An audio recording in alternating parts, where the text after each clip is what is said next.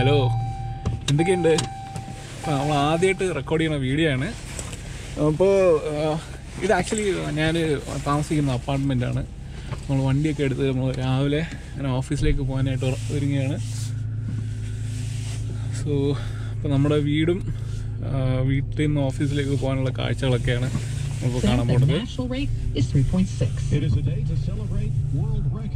Today is officially Guinness World Records Day. Now, it's anticipated 600,000 people will attempt some sort of record today. The theme this year is Spirit of Adventure, according to Rick Lunday, editor-in-chief of Guinness World Records.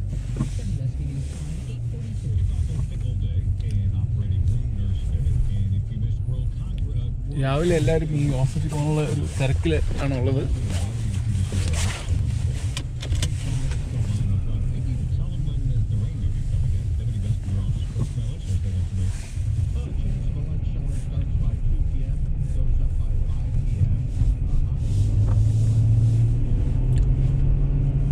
അപ്പോൾ ഇത് ആൽഫ്രട്ടയാണ് അപ്പം ആൽഫ്രട്ടയിൽ കൂടുതലും ഇന്ത്യക്കാരാണ് ഉള്ളത്.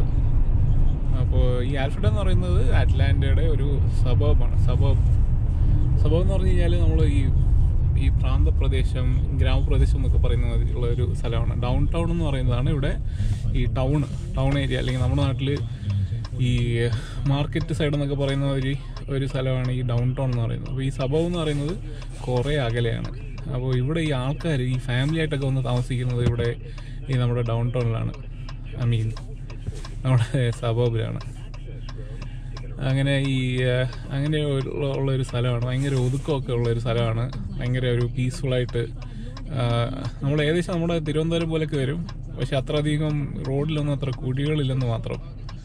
ബാക്കിയെല്ലാം അപേക്ഷിച്ച് നോക്കുമ്പോഴത്തേക്കും ഇവിടെ കൂടുതൽ ഇന്ത്യക്കാരൊക്കെ ഒന്ന് താമസിക്കാൻ താല്പര്യപ്പെടുന്ന ഒരു സ്ഥലമാണ് ഈ ആൽഫ്രട്ട എന്ന് പറയുന്നത്. അപ്പോൾ കൂടുതൽ ആൾക്കാരും ഈ അവസാനം ഈ ജോലിയൊക്കെ വാങ്ങിച്ച് അവസാനം ഈ ഫാമിലി ആയിട്ടൊക്കെ സെറ്റിൽഡ് ആവാനായിട്ടൊക്കെ എല്ലാം ആഗ്രഹിക്കുന്ന ഒരു സ്ഥലമാണ് ഈ ആൽഫ്രട്ട എന്ന് പറയുന്നത്. അപ്പോൾ ആൽഫ്രട്ടയിൽ കൂടുതലും ഉള്ളതെന്ന് പറഞ്ഞു കഴിഞ്ഞാൽ കുറേ ടെക്നോളജി കമ്പനികളുണ്ട്. അപ്പം ഇക്യുഫാക്സ് വെറൈസൺ അങ്ങനെയൊക്കെ പറഞ്ഞിട്ട് കുറേ പഴയ ഇക്വിഫാക്സ് ഒക്കെ എന്ന് പറഞ്ഞാൽ നൂറോളം നൂറ് വർഷത്തിൽ കൂടുതലൊക്കെ പഴക്കമുള്ളൊരു കമ്പനിയാണ്. അവിടെ ഈ ക്രെഡിറ്റ് ക്രെഡിറ്റ് എന്ന് പറഞ്ഞൊരു പരിപാടിയുണ്ട് അമേരിക്കയിലെ. അപ്പോൾ ഈ ക്രെഡിറ്റ് ആപ്ലിക്കേഷനൊക്കെ എല്ലാം പ്രോസസ്സ് ചെയ്യുന്നതും ആൾക്കാരുടെയൊക്കെ ക്രെഡിറ്റ് ഹിസ്റ്ററി ഒക്കെ എല്ലാം മെയിന്റെയിൻ ചെയ്യുന്ന ഒരു സ്ഥാപനമാണ് ഇക്കിഫാക്സ് അപ്പോൾ ഇക്കിഫാക്സ് ആണ് ഇവിടെ ഉള്ള സ്ഥാപനങ്ങളിൽ വെച്ച് ഏറ്റവും വലിയൊരു സ്ഥാപനം എന്നൊക്കെ പറയുന്നത്. അപ്പോൾ ഇവിടെ കുറേ ആൾക്കാർ ഇന്ത്യയാണ് ഒരു തൊണ്ണൂറ് തൊണ്ണൂറ്റഞ്ച് ശതമാനം ആൾക്കാർ ഇവിടെ ആൽഫ്രഡ് ജീവിക്കുന്ന ആൾക്കാരൊക്കെ എല്ലാം നമ്മുടെ ഇന്ത്യക്കാരാണ്. അപ്പം ഇവിടെ ഈ അറ്റ്ലാന്റിനെ ഈ ആൾക്കാർ പരിഹസിച്ച് പറയുന്നത് പറഞ്ഞാൽ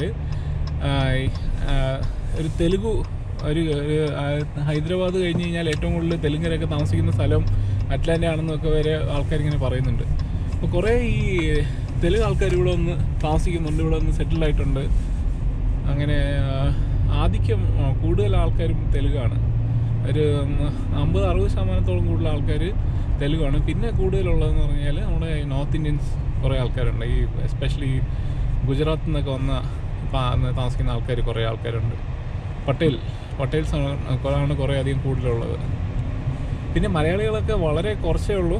അതും ഈ പണ്ടേ ഇവിടെയൊക്കെ എല്ലാം ഈ ഓരോരോ സമയത്ത് ഓരോരോ കാരണങ്ങൾ കൊണ്ടാണല്ലോ ഇവിടെ ഈ ആൾക്കാർ ഇവിടെ വരുന്നത് അമേരിക്കയിലെ.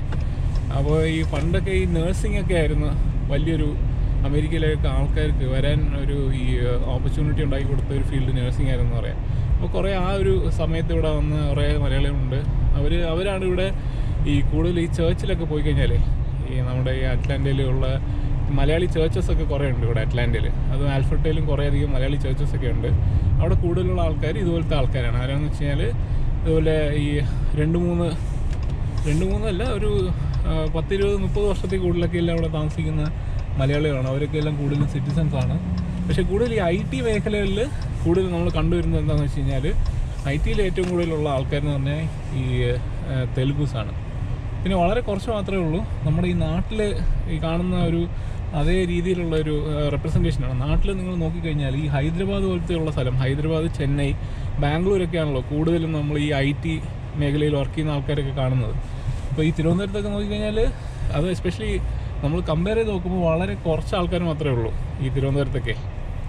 അപ്പോൾ അങ്ങനെ വെച്ച് നോക്കുമ്പോഴത്തേക്കും അതുപോലെയൊക്കെ തന്നെയാണ്. ആ ഒരേ രീതിയിലുള്ള ആ ഒരു അതേ ആനുപാതികമായിട്ടാണ് ഇവിടെ ഈ അറ്റ്ലാന്റയിലും ഇതുപോലെ അറ്റ്ലാന്റ എന്നല്ല പൊതുവെ അമേരിക്കയിലും ആ ഒരു അതേ അളവിലുള്ള ഒരു ഇതിലാണ് ഇവിടെ ഉള്ളത് ആൾക്കാർ അപ്പോൾ നമ്മൾ ഓഫീസെത്തി. ഇവിടെ ഭയങ്കര സെക്യൂരിറ്റി ഒക്കെയാണ്.